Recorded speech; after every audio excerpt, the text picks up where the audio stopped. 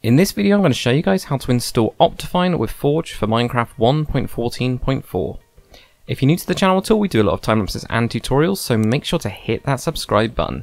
Anyway, what we're going to be doing guys is you're going to go into the description of this video, there's going to be two links, there's going to be one to Minecraft Forge, and there's going to be another one to Optifine. So the way that we can kind of get shaders is via Optifine. It's really good anyway. As a mod, it's got a lot of um, well, it's got a lot of things to make your Minecraft just run that little bit faster. Which, if you're using shaders, you'll know uh, you do have an FPS drop.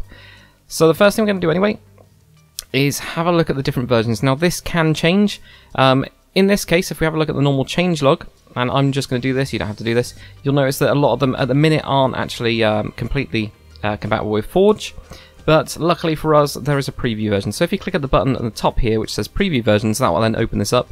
If we now look at the changelog, what we'll see is that uh, Optifine 1.14.4 HDU F4 Pre 2, which is this one at the top here, that one is compatible with Forge 28.045. So this could change. This is why I'm saying look in changelog. Um, so for this, we're just going to copy and paste that number. Uh, we're going to go onto that main Forge kind of site that I've given you guys the link to. You should get straight to here. Um, now you'll notice that the version, uh, which is yeah 28.045, is different than this one. So we're going to actually install the one that Optifine has actually said. And to do that, what we do is we click on this Show All Versions button here. So that will then open up everything. And we can actually just use yeah Control F and use it to uh, kind of highlight it. We can see there we go. That's the version that we actually want. I'm just going to press on Installer here and let that download. So yeah, nice and easy. That's the way that you can get the exact version. Of course, it can change, so it might not be exactly the same, uh, etc. and so forth. Um, now, what you will get is a warning with, uh, you know, this type of file can harm your computer. Do you want to keep it anyway? I do. Uh, it's just a .jar file. Same happens with uh, .exe files that aren't like recognized as programs. Um, to make it easy, what I'm going to do is I'm going to right-click on the desktop here and do New and Folder, and then just uh, there we go, drag that onto here and I am going to actually uh, go on to show in folder and I'm going to drag that into the folder. You don't have to do this, it's just that this for me makes it a little bit easier, a little bit simpler. Uh, to actually have that in there. So what you should have is it should be recognized as a .jar file, as an executable jar file, um, and you should be able to just double click on it like this. And that's it. And you should get up this uh, kind of installer here. If you don't get that if you either get a flashing up box if I try and show you guys that because I have got one version of uh, broken Java on my box like that there we go so it just flashes up and disappears if you guys do get that or you get an actual error so where it actually says Java kind of exception error or it says unable to install Java that one's actually come up as well um, there's different ways you can fix that. I'm actually going to put a link on uh, this video to the uh, via the card and also with the description whatever is easier for you guys.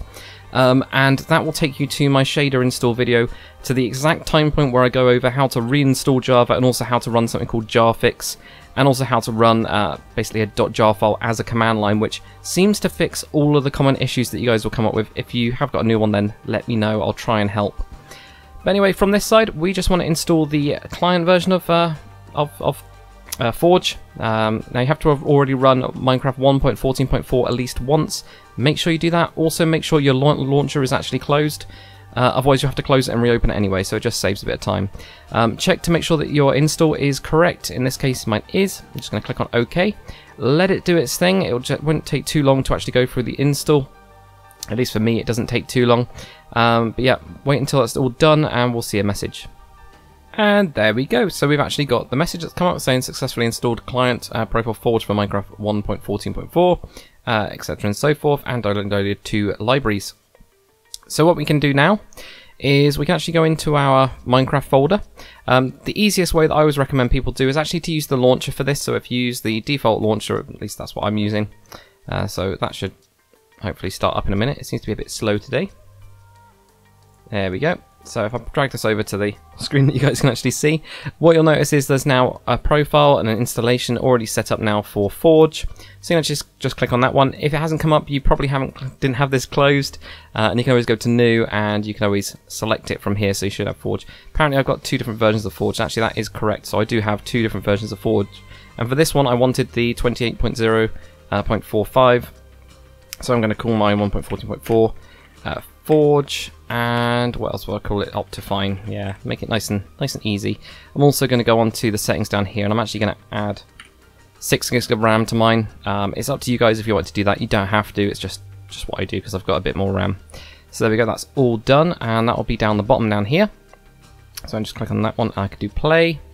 Let that all load up, and I'll show you guys what to do on the game side of it. And just like that, we've now got Minecraft loaded up with Forge installed, and that is the 28.0.45 uh, installation on there, and all working, which is all good. Now, if you did have any problems coming to this point, make sure to check your game output if you've got the actual game output log here. See if there's any errors and always Google them. Uh, the other thing, of course, is that if you've already got mods in the folder and they're not compatible and that causes a crash, that can sometimes happen as well.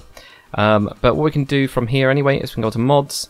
Uh, you can see we've just got Forge and we've got Minecraft if we do open mods folder, that'll just launch you directly into the place where you need to put your mods. For me, it's totally blank, and that's how it should be the first time you run Forge. Um, I do recommend, you know, creating another folder in here, like called old mods folder is what I've done. And I've just got them all layered in there for different things. You can see 1.7.2 normal camera studio apparently. Uh, great naming I've got there. Um, but for us, what we're going to do is we're going to be putting in Optifine into here. So if we just do done, quick game out of that, We've loaded it up once, we don't need to worry about it too much. We're going to go on to the second link that's in the description, which is, of course, uh, you probably already had this open anyway, but is to download um, Optifine. Two different ways to download Optifine. You can either go on the main download link, that will go via AdFly, or you can use the mirror link. Um, I do recommend using Chrome for these because Internet Explorer and Safari, if you're on the Mac, uh, both of these have had issues in the past with uh, displaying it. For me, I'm going to go through the main uh, AdFly link uh, just to kind of warn you guys, this is how uh, the kind of uh, person that's made the mod, the guy that's made Optifine, can get paid. And uh, yeah, because I've got ad blocker on, always get an ad blocker. I'd advise it, even though uh, it means that I won't earn any sort of revenue from videos, but it can keep you a lot safer. But yeah, anything that's in this box down here, don't click on it. you you can get other things that jump up as well. but as soon as you get to this skip ad button at the top, that's the only thing you need to worry about. Go on to that, and you should get to this main page here like this. I'll probably also launch another advert as well, something like uh, Roblox always likes to come up for me. Uh, if you go via the mirror link, that will just take you direct in there, but the guy that made Optifine won't get uh, earn anything from that. So again, guys, if this has disappeared, so if you can't see this uh, download button here, I'm just going to press download so it starts. Um, if you can't see this at all, there you go, Roblox. Um, always happens. Uh, if you can't see that at all, the that can kind of be because of uh, using Internet Explorer or from using um, Safari, but it can also be your ad blocker as well. So if you do have it, you can then disable it on there, and then you'll see some ads. Uh, so we're just going to go on to keep again. And as soon as that's finished flashing, there we go. I'm going to drag that into that open mods folder that I actually had, like that. So that's now in the mods folder, and that's how you kind of install kind of Forge mods. So if you want to put other stuff in there, and I've done one already on there of um, World Edit as well with Forge, but uh, you know any other Forge mods you can you can put into there. So if we open up our Minecraft launcher again, we've got the same version we've got here, 1.14.4 Forge Optifine. Uh, makes it nice and easy, nice and simple to kind of remember which one it is. Just press on play again, and then this should load up both Forge, or it should be a Forge kind of client uh, with Optifine in there as well. And there we go, it's all loaded up. So what you'll notice is it's only saying we've got two mods, and if we go into here, it doesn't show anything. So you might be like, oh, it's not worked. Um, if you go into the options, one of the things that Optifine of course does is it adds tons of video settings, including shaders. So if you go into video settings, you'll now see Optifine HD uh, F4 underscore pre ultra. And now we've got shaders, so there we go. Shaders are already loaded up because I had them loaded up before. So if we just go into a single world, we can now see that for some reason everything's really dark. So one way we can have a look at doing uh, or doing a fix on this is by going to details, uh, sun and moon, turn that on. Um, that's actually the first time it's happened for me. Um, but if you do get that kind of black screen, yeah, you can do that. It seems that then, at least for me, it was only on startup. This is when I was trying to play around with things. Turn on sky or stars. Actually, you can turn off sky if you want to. I'm not really too sure what that does. Um, but yeah, it'll be the sun and moon settings, uh, which will happen on there. Just in case you do get that, I know people have had that before, but there we go. We've got shaders, and we've also got Forge running. So then you can, of course, install other things like uh, World Edit for single player or um, any other mods, Twilo as well. You know, uh, everything that's coming out that you can then start to play around with, but all good, all nice and easy. So hopefully guys, that has all worked for you.